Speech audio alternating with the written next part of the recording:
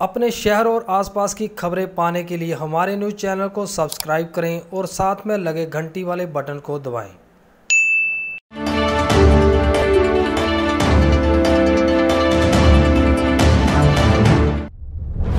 Phagwara Jalandhar highway ਤੇ ਝੇੜੂ ਦੇ ਨੇੜੇ ਇੱਕ ਮਹਿੰਦਰਾ ਪਿਕਅਪ ਬਲੈਰੋ ਗੱਡੀ ਦਾ ਟਾਇਰ ਫਟਣ ਨਾਲ ਗੱਡੀ ਪਲਟ ਗਈ ਜਿਸ ਕਾਰਨ ਗੱਡੀ ਵਿੱਚ ਸਵਾਰ ਇੱਕੋ ਪਰਿਵਾਰ ਦੇ ਕਰੀਬ 15 ਲੋਕ ਜਿਨ੍ਹਾਂ ਵਿੱਚ ਬੱਚੇ ਵੀ ਸਨ ਜ਼ਖਮੀ ਹੋ ਗਏ ਗੱਡੀ ਵਿੱਚ ਤਕਰੀਬਨ 30 ਲੋਕ ਸਵਾਰ ਸਨ ਜ਼ਖਮੀਆਂ ਨੂੰ ਸਿਵਲ ਹਸਪਤਾਲ ਫਗਵਾੜਾ ਦਾਖਲ ਕਰਵਾਇਆ ਗਿਆ, ਜਿਨ੍ਹਾਂ ਵਿੱਚੋਂ ਇੱਕ ਔਰਤ ਇੱਕ ਬੱਚੇ ਦੀ ਹਾਲਤ ਨੂੰ ਗੰਭੀਰ ਦੇਖਦੇ ਹੋਏ ਜਲੰਧਰ ਰੈਫਰ ਕਰ ਦਿੱਤਾ ਗਿਆ।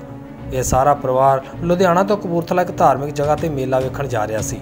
ਮੌਕੇ ਤੇ ਪਹੁੰਚੇ ਥਾਣਾ ਸਤਨਾਮਪੁਰਾ ਦੇ ਐਸਐਚਓ ਓਂਕਾਰ ਸਿੰਘ ਬਰਾੜ ਨੇ ਦੱਸਿਆ ਕਿ ਹਾਦਸੇ ਦੇ ਕਾਰਨਾਂ ਦੀ ਜਾਂਚ ਕਰਕੇ ਅਗਲੀ ਕਾਰਵਾਈ ਕੀਤੀ ਜਾਵੇਗੀ।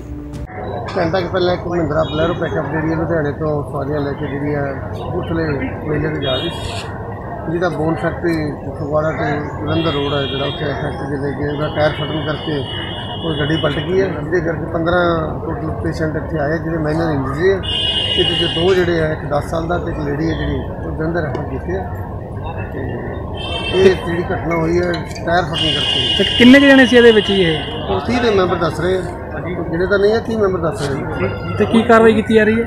ਆਓ ਤੇ ਬਿਆਨ ਲਿਖਦੇ ਅਜੇ ਕਿਸੇ ਬਿਆਨ ਨਹੀਂ ਲਿਖਾਇਆ। ਆਏ ਹਾਂ ਅਜੇ। ਜਿਹੜੀ ਕੋਈ ਸਟੇਟਮੈਂਟ ਦੇਣਗੇ ਉਸ ਤਰ੍ਹਾਂ ਲੀਗਲੀ ਐਕਸ਼ਨ ਕਰ ਦਿੱਤਾ ਜਾਊਗਾ ਇਮੀਡੀਏਟਲੀ ਠੀਕ ਹੈ ਜੀ ਐਨਕਾਊਂਟਰ ਨੂੰ ਫਗਵਾੜਾ ਤੋਂ ਰਮੇਸ਼ ਸਰੋਇਆ ਦੀ ਰਿਪੋਰਟ